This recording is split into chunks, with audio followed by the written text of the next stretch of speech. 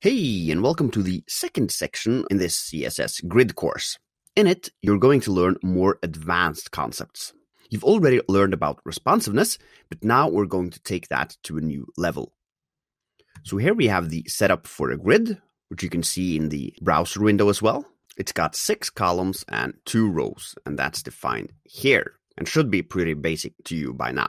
Both the columns and rows have a value of 100 pixels in width and height. So this grid is not responsive now, as you can see. But we know from previous costs that we can turn it into a responsive grid by doing 1FR instead. Now the columns will grow and shrink with the width of the container. However, you wouldn't necessarily always want your columns to be 6. Like now, they're very squeezed together, and at this point, they're suddenly very wide. What you perhaps rather want to do is, for example, only have 2 in width when the example is being viewed on a mobile, and 6 in width when it's viewed on a normal screen.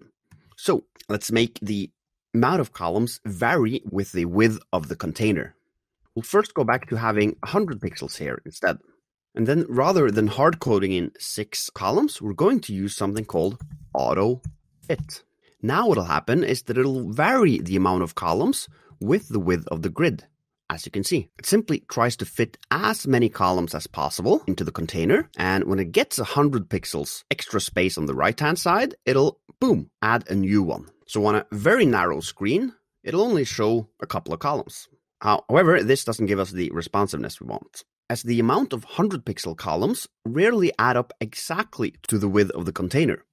Then we get a situation like this, here, where we have quite a lot of space left on the right hand side, though not enough to add a new column. That doesn't look nice. Now, you might think that we could rather do autofit 1FR.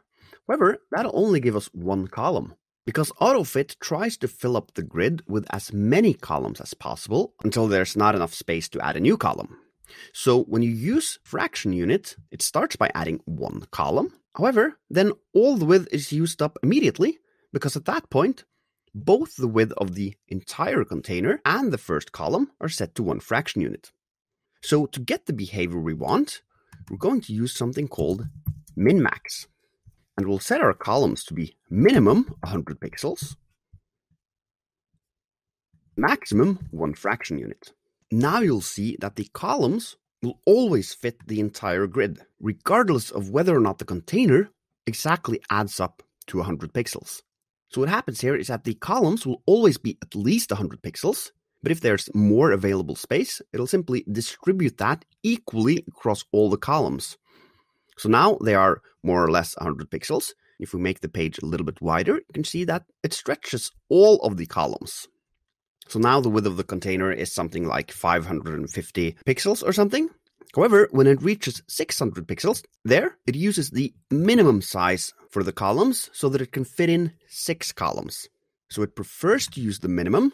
However, when it doesn't add up to exactly 500 or 600 pixels, it uses one fraction unit instead. So now we also get a nice view on mobile, like that, and a nice view on a very wide screen. Okay, so in the next screencast, I'm going to tell you about implicit rows. So stay tuned and I'll see you there.